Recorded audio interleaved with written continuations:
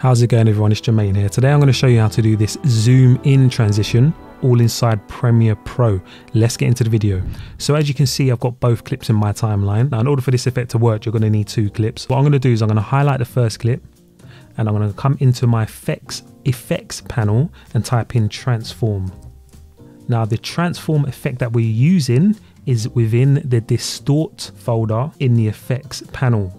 So I'm going to drag this transform effect into the effects control panel, making sure that my first clip is highlighted. I'm going to do the exact same for the second clip.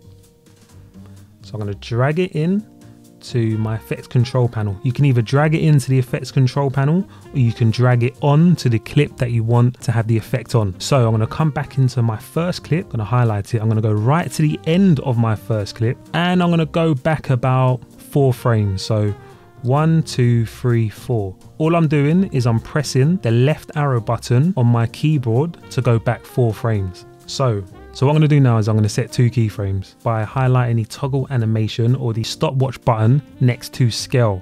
Now you need to use the scale that is within the transform effect. Do not use the scale that is under motion. So do not use this scale. Use the scale that is within the transform effect.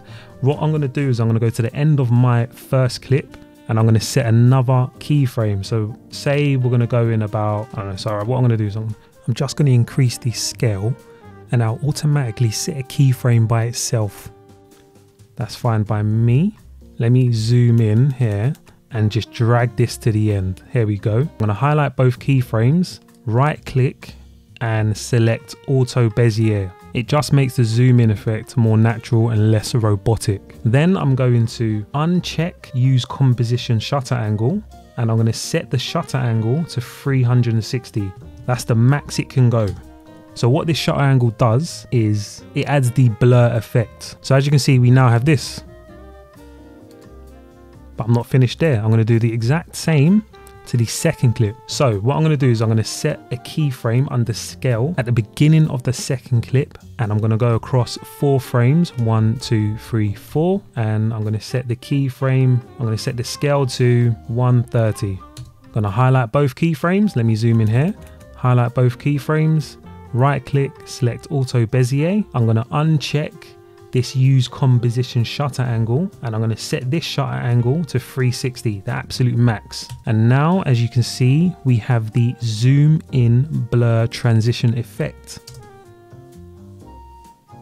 And to sell the effect even more I'm going to add a whoosh sound effect. So let me just move this here.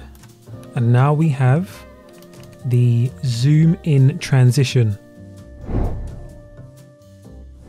Thank you very much for watching this video. My name is Jermaine Grant. Please don't forget to subscribe, like and comment below for any other tutorials you would like to see and I will see you again next week. Thank you very much. Take care. Goodbye. If I take